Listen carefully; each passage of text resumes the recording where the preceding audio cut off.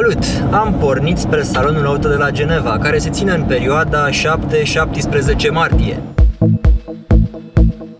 5 și 6 martie, marți și miercuri, sunt zile dedicate presei și pe 0100.ro și Hot News veți putea vedea toate noutățile care contează. Unele dintre ele au fost anunțate deja și vă propun să le trecem în revistă. În ordine alfabetică, să nu se supere nimeni, iată care sunt cele mai importante mașini de serie și concepte despre care vom afla mai multe la salon. Alfa Romeo atrage atenția prin mașina sport cu două locuri 4C, prezentată sub formă de concept tot la Geneva, dar în 2012. Alfa 4C va fi disponibilă în showroom-uri la final de 2013, iar prețul va fi de circa 60.000 de euro. Audi a anunțat deocamdată trei premiere. Este vorba despre S3 Sportback de 300 de cai, apoi avem RS Q3, primul SUV Audi ce poartă eticheta RS și, în fine, Audi A3 e-tron cu propulsie hibridă. Acesta este primul automobil premium compact reîncărcabil la priză. Bentley vine cu noul Flying Spur în premieră mondială. Mașina are motor W12 de 6 litri pe benzină biturbo și dezvoltă 625 de cai. Acest simbol al luxului britanic va ajunge la dealeri în vară. De la BMW avem seria 3 Gran Turismo sau, mai simplu spus, seria 3 GT. E un frate mai mic al lui seria 5 GT. Americanii de la Chevrolet ne arată a șaptea generație Corvette. Ținută încă secret este varianta decapotabilă, pe care o vom vedea în curând. O mașină interesantă de la standul Chevrolet va fi Spark Electric. De la Citroën vom vedea C3 Facelift și conceptul Technospas. Acesta ne dezvăluie liniile viitorului C4 Picasso, care va fi lansat în a doua parte a lui 2013. Technospas are la bază o platformă modulară, nouă, mai ușoară și mai ieftină, denumită MP2. Cei de la Dacia sunt secretoși ca în fiecare an, dar așteptăm noul Logan în versiune break și o variantă restilizată a SUV-ului Duster. Ford ne arată EcoSport, un SUV de oraș ce va concura cu Nissan Juke și Opel Mokka. Japonezii de la Honda sunt puși pe fapte mari. După ce au construit noul Civic după gusturile și stilul de condus al europenilor, cei de la Honda vor să atace și segmentul brecurilor compacte. Astfel, de la Honda vom vedea conceptul Civic SV, care anunță iminenta lansare a unui Civic Break. Prin acest concept, Honda ne spune că și varianta de familie a lui Civic va fi o mașină la fel de OZN ca și versiunea cu 5 uși. O altă noutate interesantă de la Honda va fi NSX, aceasta este o nouă variantă, o evoluție a conceptului cu același nume prezentat anterior. Practic, cu pași mărunți și siguri, Honda ne pregătește pentru lansarea unei mașini sport foarte performante și atrăgătoare. Interiorul lui NSX este elementul cheie, pentru că el va fi preluat fără prea mari modificări de versiunea de serie a lui NSX. Hyundai va avea la stand Santa Fe, un fel de Q7 al coreenilor. SUV-ul compact iX35 primește un mic facelift. Infiniti arată în premieră în Europa Q50. Acesta este succesorul lui G Sedan. De la Kia avem variantele cu 3 și 5 uși ale noului Ceed cu eticheta GT, adică cu motor turbo pe benzină de 1,6 litri și 204 cai putere. Bătrânul și respectabilul Land Rover Defender vine la Geneva echipat cu motor electric și baterii. Producătorul spune că autonomia este de până la 80 de km sau câteva ore bune de utilizare în off-road. Acest Defender e deocamdată experimental. Noua generație a Lexus IS se arată în premieră publicului european. Noul IS este complet schimbat și mizează pe un design îndrăzneț și agresiv. Odată cu acest model, Lexus IS pășește în a treia generație și vine cu forțe proaspete pentru a se bate cu BMW Seria 3, Audi A4 și Mercedes-Benz clasa C. În premieră pentru IS, noul model vine și cu propulsie hibridă, purtând indicativul 300H.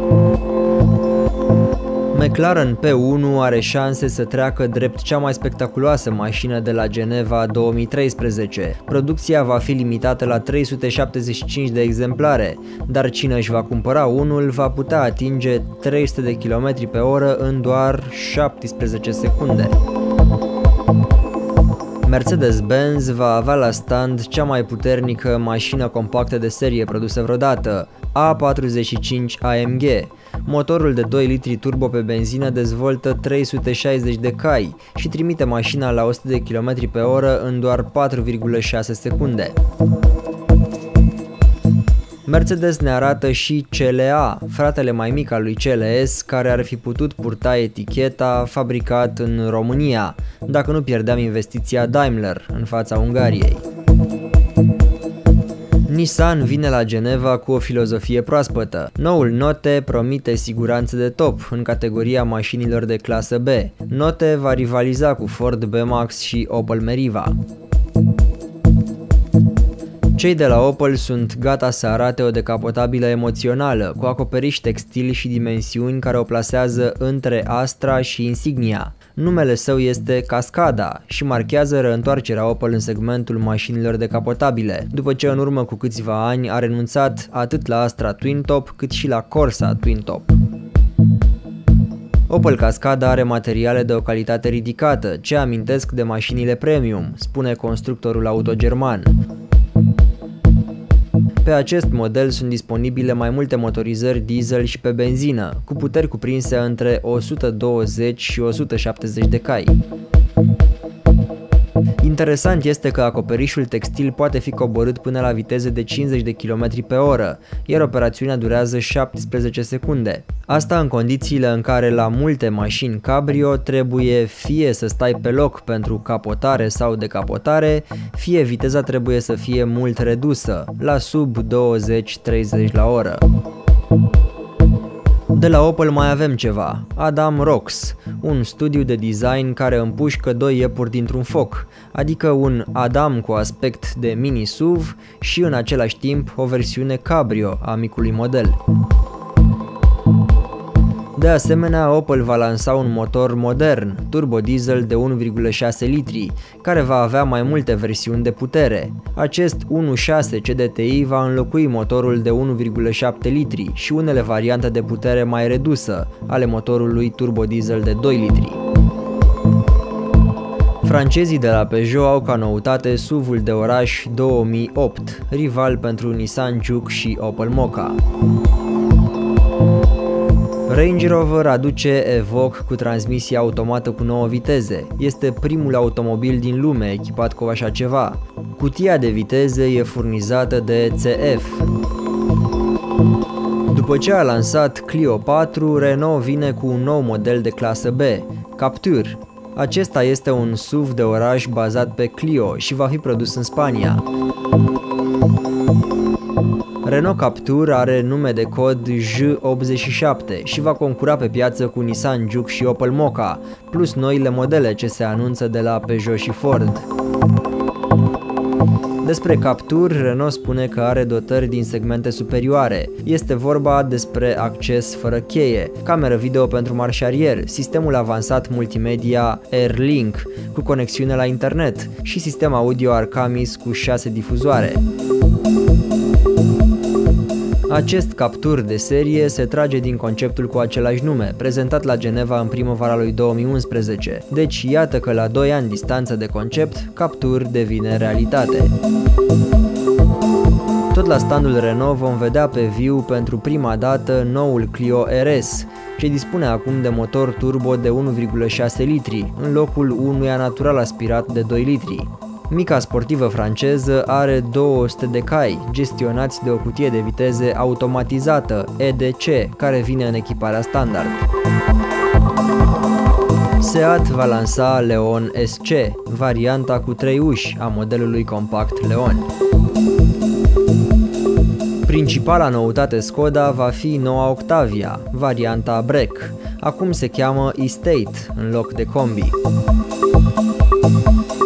După o perioadă în care n-a avut noutăți, Suzuki va prezenta în premieră mondială un SUV compact, mai mare decât crossoverul SX4. Noul SUV Suzuki a fost anticipat de conceptul S-Cross, iar lansarea variantei de serie vine pentru a revigora vânzările mărcii japoneze. Deși cei de la Suzuki păstrează detaliile pentru salon, din imaginile inițiale se poate observa că noul SUV compact are un design modern, radical schimbat față de aspectul mașinilor Suzuki 4x4 de până acum.